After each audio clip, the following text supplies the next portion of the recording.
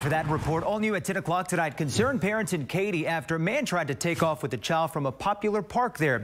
It happened on Saturday at Katy Park on Morton Road and Katy Fort Bend Road. Channel 2 Sally Mamdooh joins us from that park with a warning for parents tonight. Sally?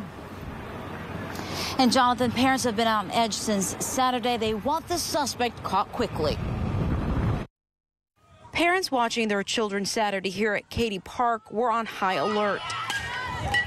Oh, one of my uh, friends there told me that she had just received an email from the Katy uh, Youth Softball Week uh, just letting us know that somebody had attempted to abduct a child uh, in the parking lot. Kennedy Eckert says it was this alert notifying parents that the attempted child abduction happened outside the park's Field 1, that the situation has been averted, the child is safe, and now local authorities are involved. It's a little too close to home for me, and I feel like this is a pretty safe area, but it starts to make me question just where we are. Harris County Precinct 5, who's currently investigating the incident, describes the suspect as a white male between 40 to 50 years of age with brown hair and a salt and peppered beard.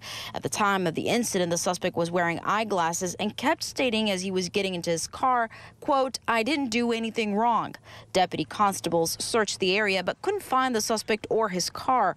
For this mother of two come next week, she says she'll be watching more than just her son's soccer game. I'm definitely not letting my daughter, even though she was always nearby me before, she's going to be right in front of me.